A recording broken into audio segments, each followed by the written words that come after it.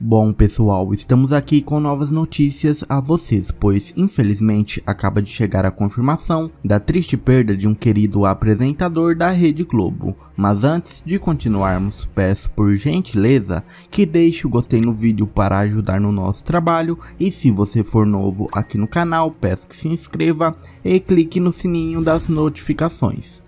Agora vamos lá pessoal, mas antes já comente aí embaixo de que cidade você está nos assistindo para vermos até onde os nossos vídeos estão chegando, pois infelizmente este domingo 21 amanheceu triste com mais uma perda no mundo da comunicação.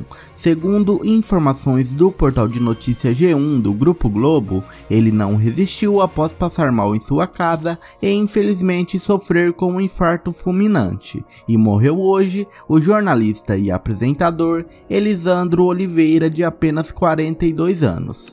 O velório e sepultamento vão ser neste domingo em Curaçá. O jornalista deixa a esposa e dois filhos.